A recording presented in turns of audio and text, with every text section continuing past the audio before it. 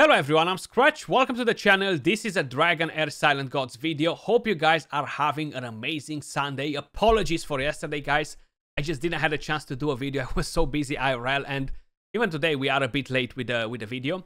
Today we're going to discuss about the Grave of Rot, it's one of the most annoying dungeons in the game actually and I don't have the fastest farm team for this particular dungeon, but I'm gonna share with you guys couple of different strategies that will help you to defeat this boss. And I'm gonna showcase my team as well.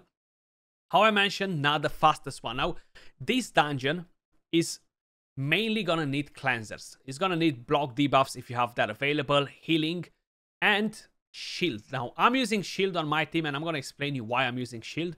But basically, the boss will put the healing prohibition on your team, will put poisons, and then will, will put the decrease ultimate energy basically. You're not going to be able to load your ultimate energy. So if you have a champion like Vikuk, for example, which removes two debuffs, you're still going to be left with another one. So just to kind of like make this 100% win rate without having to constantly keep an eye on it, you're going to have to use two different champions that fit that role. Block debuffs, uh, clans. That's what I'm doing at least on my team to ensure that I don't constantly have to see defeat or ah, what happened this run. I gotta I gotta keep an eye on it. The presets are not working good, so that's kind of like uh, what I want to point out. Now, Sigrid is the ultimate best champion for this dungeon. You're going to need a heal reduction on the boss. Whenever the boss devours your champion, he's gonna get healing back. So having heal reduction is gonna be very important. On top of it, decreased attack is gonna be massive. If not, the boss will smack you and will put your champs back to back to their place basically. So this is the team that we're running. We have Frorbart, he's gonna get devoured by the boss. He's bringing the some of the healing, he's bringing the decreased attack. Then we have uh, Vikuk, he's gonna do the cleanse, he's gonna do more decreased attack. And he's gonna have an accuracy penalty, which honestly, this champion is made for this dungeon, okay? You have the accuracy penalty, you have the decreased attack, and removes debuffs and then heals based on how many debuffs he removes as well on the entire map. This is the champion that I picked from the 99 cents chest, guys, with the epic heroes. Then I have Adolphus. It might be very unusual for a lot of you guys to see this hero in here, but he's uh, in here basically because of the shield, okay? And I wanna, I wanna keep everything up and running. You could use the Traveler if you want instead on the Frost element. It's not a, it's not a bad idea if you have a combo of uh, feeling the three elemental affinity. And then I have Catherine. It's kind of like Hexandra on steroids because uh, Catherine, she actually brings block debuffs, immunity with, uh, with the ultimate skill, you know? So this is what we're running. I do have a bit of a preset, but I feel like something is off and uh, we're going to check it during the run and I'm going to show you how to adjust it as well if you are running something similar. Of course, one thing to keep in mind that's going to be different from player to player is how much skill haste you have on your heroes. It's going to be pretty hard to uh, reproduce the exact same stats on all of your heroes. I have 33. Then I have the Rift Hourglass, gives me 100 more. Uh, then you might have 20 on your Adolphus. I have zero, or etc. You know how it goes. But just to to point that out, and I do tend to use food with this dungeon because I need the extra accuracy on a Sigrid, for example. You see, the accuracy is pretty low, it's only 150, so I'm trying to gain more accuracy on her. Maybe a couple of upgrades. Once I'm gonna actually level up the Crown of the Unclean, I feel like this is on my list right now, and I should be able to take it up a couple of levels. I don't think I can do three, but I can, uh, four, sorry, but I can do three. That will give me more accuracy.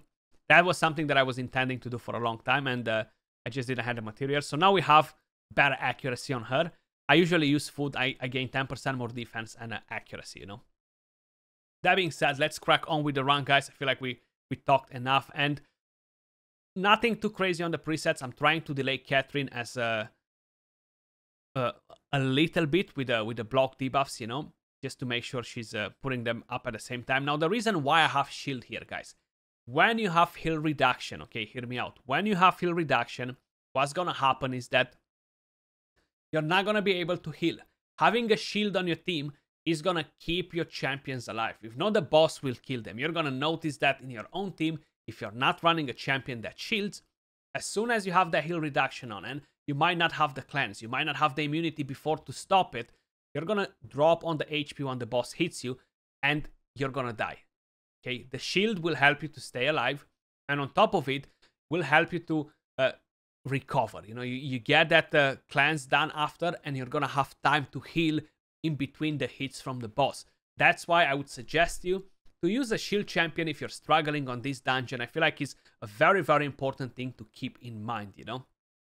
But this is what the what we have going in here. I have decreased attack from multiple champions. Very important to have it uh, up as much as uh, as possible. You see, my Catherine here was a bit too slow in using the ultimate skill, and uh, we got debuffed. My Vikak is not uh, uh, doing the cleanse in time either. So I need to see what happened to Catherine. I feel like I changed some gear on her and she lost some skill haste because she's not recovering the the ultimate skill fast enough.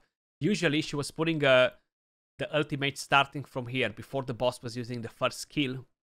So I was always covered with the debuffs, you know? But for whatever reason, I must have changed probably the runes on her and I forgot. I gotta recover the skill haste just to, to be spot on, you know? And uh, my problem will be fixed afterwards. The main idea is even, even though I have all these issues, the shield helps me. If I wouldn't have had that shield right there, the boss would have hit me very hard because I wasn't able to heal for the entire duration. Then Vikak landed the cleanse. It's very important to have a champion that can cleanse more than one debuff. So if we're talking about another rare champion, it's not going to be the best option. But if you're pairing her with somebody else that cleanses, it might work, you know. You you will still need to have tons of healing, and that shield is very, very important. I, I know like I've mentioned it a couple of times, but I'm gonna I'm gonna say it again. And how you may notice, is not my fastest run because of all the support that I'm bringing in the team to have that peace of mind that I don't have to worry about this uh, this uh, team. You know, I don't have to worry to check it all the time. Uh, I know manualing was big uh, a big part of this dungeon in the in the bear as well, and it's pretty annoying for a lot of people. You know, uh, just kind of like wanted to to point that out. Vikak is kind of like back on a on spot with a with a cleanse here. Sorry, my light seems like it just uh, went crazy here, guys, for whatever reason. So my lighting is gonna change a little bit.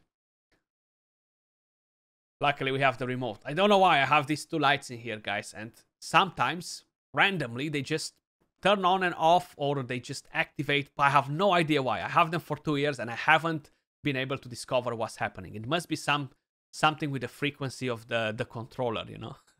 Weird stuff and off topic from the video Skratch. Way to go.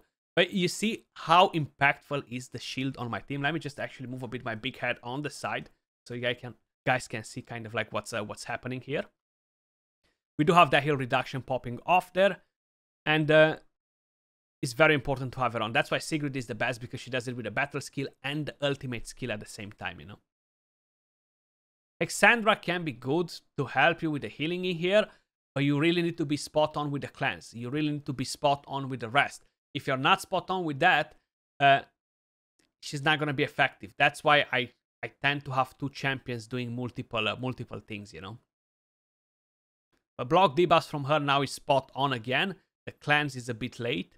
And the, the whole idea is that if you are making these presets, they're still bad, guys, okay? They're still bad. Luckily, we had that shield on Vikak because he had heal reduction, which we didn't manage to cleanse. And that was going to cause issues for us here. Okay, we got a cleanse dropping in here. And again, we are too slow with the... Oh, just on time with the block debuffs. Look at that, beautiful. Of course, the boss is a skill from here. When it puts a recharging speed penalty on us, it will affect the presets. And that's another thing that you need to keep in mind for this dungeon. That's why the presets are not very reliable on this dungeon in particular because of that. Plus is the latency that counts and everything else when you're setting uh, that on. And uh, yeah, I do feel like having the, the right support, even though the run is slower, I'm gonna turn on my multi-battles if I have any, or uh, just use BlueStacks. You can do it with macros if you're playing on the PC. And do your five, ten fights a day and leave them in the background while you're doing something else, you know, so you don't need to keep an eye on every single one of the runs, even though they take longer, how I mentioned, I prefer to to do it in this uh, in this way so I don't have to to worry about it, you know. I wish they would make the presets so the boss and the champion skills are kind of like on the same timing and I'm gonna use my block debuff skill, for example, before the boss uses the basic skill or before he uses the ultimate skill, and that makes more sense with what's happening on the on the board. But that needs to be done for every single dungeon, for everything in the game. Based with the time is is not good. It's, it should definitely get improved. Hopefully, it's gonna it's gonna happen soon. So you see, no heal reduction from Sigrid. The boss managed to to heal himself, unfortunately. Even though you put the presets, still not very very impactful. Okay, put that block debuffs on, so at least we're not getting uh, the decrease uh, decrease speed on uh, on our team. That's why this is a is a is a is an annoying dungeon. Sorry, I, I couldn't speak there for a second. It's an annoying dungeon because of all the things that are happening in here, you know. And he hits pretty hard, man. Like he definitely hits hard. The shield is what uh, keeps us up and running. And you've seen was very very close to the limit with the time 5 minutes and 34 seconds. Now my best time was 2 minutes and 51 seconds. And that was using two DPS champions without having Catherine. Was, but that team was failing a lot. Was failing way too much. And I was like, yeah, I'll rather have a team that does the job and I don't have to worry uh, about retrying it a million times. Plus that wastes your multi-battles too. Bart, as usual, he is on the Ancestral set and the Stats are fairly decent on him. 4k defense, 88k HP. I definitely want to drop more HP for defense, but the pieces of gear that I have on him are not that uh, that good with the sub stats, you know. 280 accuracy. We managed to get the accuracy up. If you guys remember in a uh, in the last video, if this was rolling me triple defense, it would have been so much better. But unfortunately, it didn't, guys. It didn't. But this is a nice is a nice accuracy rune, so we cannot complain about that. That's for sure. Then if we're going to have a quick look at Vikuk. Vikuk is built on a, a Brotherhood uh, set. And that's mainly because uh, I'm going to get increased attack from it. And it's going to be very helpful in the Vortex. I am using him in my Vortex team. Total stats on him. Uh, 58k HP, 2.4k defense, and I have uh, 223 accuracy. He definitely needs a bit of extra accuracy. For the Vortex, I usually change the change the uh, negative rune for uh, accuracy instead, you know, just to make sure I'm spot on. Sigrid, she's built on an executioner set. I need her like this for uh, the goblin. Now, when I'm doing goblin, I'm usually changing the runes. I'm ge uh, getting this attack rune on her, and here as well, I feel like I got a new attack rune because I farmed a lot of uh, a lot of uh, ancient battlefield recently. Yeah, we got another rune. But as she stands right now, 38k HP, 1.8k defense, 3.2k attack, 88 crit rate, 119 crit damage, 176 uh, accuracy. Then we have Catherine right here, guys. And uh, she is built as well on a Radiance. And uh, this is actually helping her to heal a bit too. Not so important in the Grave of Rot but just generally is a, is a pretty good set for her. She gets the Enlightenment, which is very important for her, uh, for her healing, you know. And we have 61k HP, we have 250 enlightenment on her, 2.5k defense, and she doesn't really need anything else. The more skill haste, the better, honestly, especially for this dungeon. You've seen how much that's, uh, that decreased speed penalty was uh, actually delaying our ultimate skill when uh, we were attempting to, to use it with her. And we have Adolphus, again, on a Radiant set too. And mainly, that's because he will uh, do his shield based on enlightenment as well. Total stats 48k HP, 2.4k uh, defense, 250 enlightenment. And the rest doesn't really matter on Adolphus either, but his shields with a with a battle skill on a on an ally increases the ultimate energy. And that usually will be on a on Sigrid, so getting that ultimate energy on her is helpful. And then you have uh, this shield on uh, all uh, all your team right here, which is pretty a pretty nice touch actually and you can get a bit of healing too from um, from it that's pretty much everything for my grave of rot now you can have different sort of options if you have decreased attack you're gonna be spot on so i feel like the most replaceable champion for my team is gonna be is gonna be Froerbart. Not a problem to to replace him, and just bring in a different tank like Garius because we have a tag down from Sigrid, we have a tag down from Vikak. The cleansers are much harder to replace. Like there are not many uh, there are not many champions in the game that cleanse multiple debuffs. We do have uh, Gulende who does it, but she's a legendary champion, so it's pretty hard for the majority of people to get a specific legendary champion. She dispels all the debuffs, which is nice. You do have different options for champions that do immunity, block debuffs. And that will be, for example, Tia, which is a pretty awesome champion. She does uh, healing prohibition too. She uh, does invisibility and de debuff immunity. The invisibility from her will actually bring 15% damage reduction, which is very, very nice. And uh, you're getting a bit of a healing from her as well. So she's a pretty solid option too. You could potentially try something with him as well, with Fitz. Basically, he transfers all the debuffs from all of the of the team to himself. Anna, she only dispels one debuff.